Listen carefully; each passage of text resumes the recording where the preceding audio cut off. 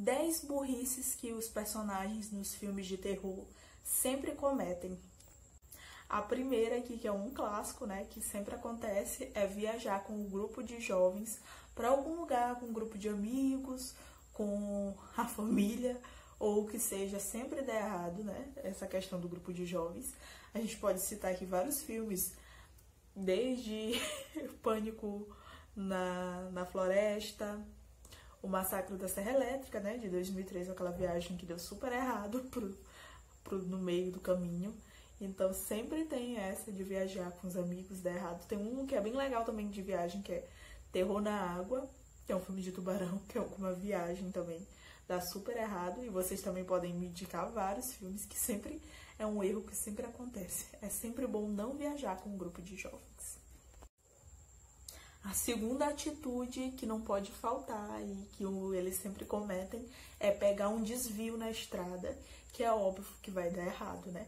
Outro filme que eu vou citar aqui que tem essa história do desvio é 2001 Maníacos, que aí rola um desvio, né? E aí não é só um, né? Tipo, primeiro é um grupo de jovens que pega, depois vem mais outra galera atrás de duas pessoas que pegam esse desvio e acabam parando lá no, numa vila antiga, né?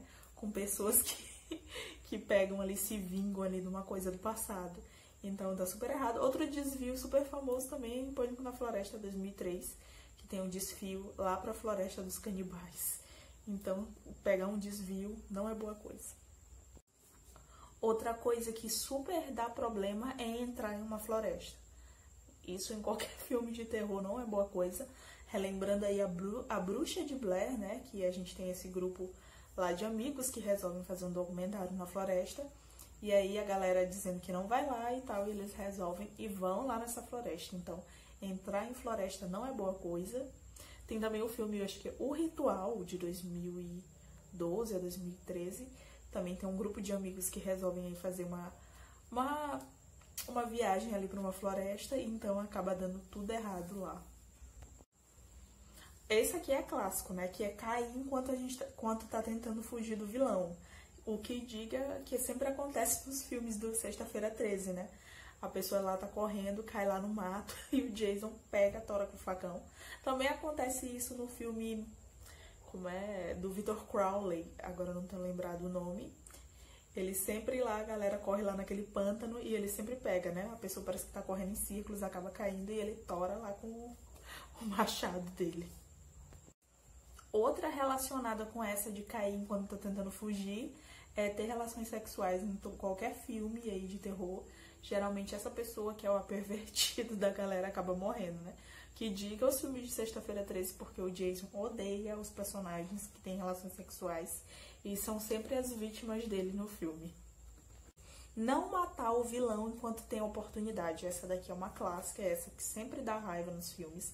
Vou, vou falar aqui, tipo, dois filmes que acontece essa situação. Que o primeiro é o filme Vertigem, em que a protagonista, acho que é a protagonista, não, ela tem a oportunidade de matar lá o, o vilão e ela não se esforça em matar logo direito o cara e acaba se ferrando. Outro também é tipo Pânico na Neve ou Pânico na Floresta 4, em que lá a protagonista fica com pena dos, dos canibais e depois acaba se ferrando muito também por conta dessa decisão de não matar o vilão quanto pode. Outra que é um clássico é brincar com aqueles jogos obscuros ou então fazer alguma coisa que não se deve. É, exemplo aí aquele filme Ouija, né? Também outro filme que não se deve assistir alguma coisa que não se deve é o chamado, né? Assistir aquela fita, uma fita maldita que rola. Então sempre dá BO fazer essas coisas, pegar jogo, ler livro obscuro, tudo obscuro dá errado. Quem dirá naquele filme, né? A Morte do Demônio, que eles vão ler lá o feitiço, acaba se ferrando. Ir no porão ou no sótão, né? Investigar o que, que tem por lá, não é boa coisa também. Sempre dá errado. Quando não mata, aparece alguma coisa lá. Quem lembra aí, né, do filme It, a coisa, né? Quando o menino vai lá no, no porão buscar o negócio, quer apagar a luz, ele fica vendo coisa lá.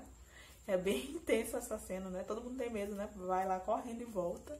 É uma outra coisa que sempre eles fazem, no porão ou então sozinhos no porão ou no sótão. Comprar uma casa mal assombrada, uma casa que tem histórico de assassinatos, ou outras coisas. Essa daí é um clássico nos filmes de terror. A pessoa sempre escolhe a, a casa que tem que aconteceu alguma coisa no passado, né? Quem dirá aí Terror em MTV e outros filmes. Outra coisa que sempre dá errado, né? É pegar algum boneco, alguma coisa estranha, né? Sempre dá BO. Esse negócio de boneco. Vai lembrar aí aquele filme O Boneco do Mal, né? Que a mulher contratada para cuidar de um boneco. Uma coisa bem bizarra. É claro, o Chuck, né? Ganhou o boneco, a Annabelle. Então, esse BO do boneco sempre dá errado. Agora eu quero saber aí de vocês qual mais outra burrice que sempre tem aí nos filmes de terror, que os personagens sempre caem. Me contem aí nos comentários. Não esqueçam de deixar aí o like e o comentário de vocês.